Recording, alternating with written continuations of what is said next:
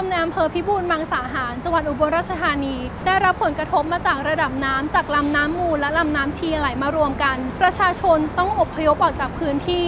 ไปอยู่ศูนย์อพยพชั่วคราว พื้นที่เกษตรได้รับความเสียหายอย่างหนัก ข้าวนาปีที่กำลังจะเก็บเกี่ยวก็ถูกน้ำท่วมหมด บ้านเรือและโรงเรียน จมน้ำลึกกว่า 5 เมตร ประชาชนต้องใช้เรือสัญจรแทนรถยนต์ ชาวบ้านเราได้รับการช่วยเหลือ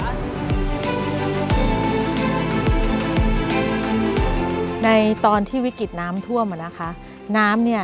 อยู่บริเวณแก่งสะพือเนี่ยจะท่วมสูงมาก ที่เรายืนตรงเนี้ยมิดหัวเลยนะคะ ขึ้นจากระดับตรงเนี้ยไปอีกประมาณน่าจะเกือบ 2 เมตร ครึ่งถึง 3 เมตรเลย น้ำท่วมมันก็แบบพายุก็มาตัวนี้ก็ออกไปอยู่ข้างนอกค่ะ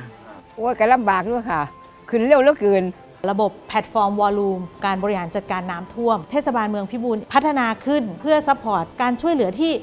ปัจจุบันทันด่วน รวดเร็ว ผลตอบรับประชาชนนะคะ ช่วงแรก ๆ ก็อาจจะมีบ้างนะคะ ที่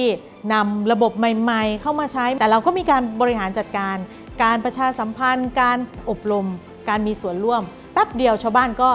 เรียนรู้ได้อย่างรวดเร็ว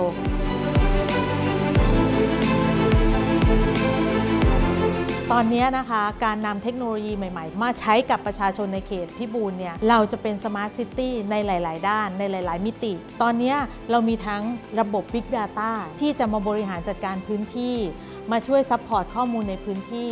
รวมทั้งการนำ AI เข้ามาเป็นส่วนช่วยในการบริหารจัดการต่าง ๆ นะคะ แล้วก็การบริหารจัดการต่าง ๆ ที่เกิดขึ้นเนี่ยจะต้องเห็นภาพที่ชัดเจน แล้วก็ เชิงประจักษ์จับต้องได้ การทำงานของ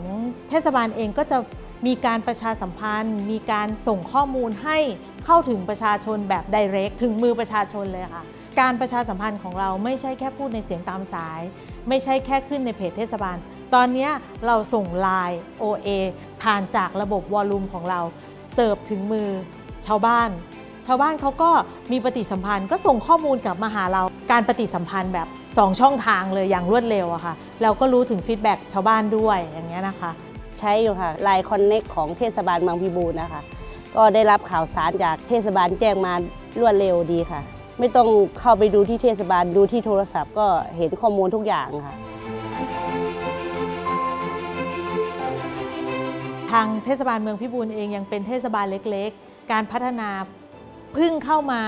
พัฒนาได้ประมาณปีกว่าๆ ในเรื่องของทางเทคโนโลยี แต่ถ้าทุกท่านนะคะอยากเข้ามาศึกษาดูงานกับเทศบาลเมืองพิบูลทางเทศบาลเมืองพิบูลเองก็ยินดีนะคะ ยินดีต้อนรับ ตอนนี้ก็จะมีหน่วยงานทาง DGA นะคะ เข้ามาช่วยสนับสนุนมาพบปะพูดคุย มาสร้างโน้ตฮาวกันมาแลกเปลี่ยนเรียนรู้ซึ่งกันและกันนะคะ และในอนาคต DGA ก็อาจจะมาเป็นส่วนร่วมหนึ่งในการพัฒนาระบบ กับทางเทศบาลเมืองพิบูลมังสาหารที่นำระบบดีๆนะคะไปให้กับทางพี่ๆน้องๆ ชาวอบทได้ใช้กันค่ะ รางวัลรัฐบาลดิจิทัล หรือดิจิทัล Government Award ถือเป็นขวัญกำลังใจให้แก่หน่วยงานภาครัฐ เทศบาลเมืองพิบูลมังสาหาร เป็นต้นแบบในการขับเคลื่อนท้องถิ่นดิจิทัล ในการนำดิจิทัลโซลูชันมาให้บริการประชาชนอย่างมีประสิทธิภาพ และตอบสนองความต้องการของประชาชนได้อย่างสะดวก ทันสมัยและโปร่งใสทำให้เกิดประโยชน์สูงสุดในการขับเคลื่อนประเทศไทย ในการก้าวเข้าสู่รัฐบาลดิจิทัลอย่างยั่งยืน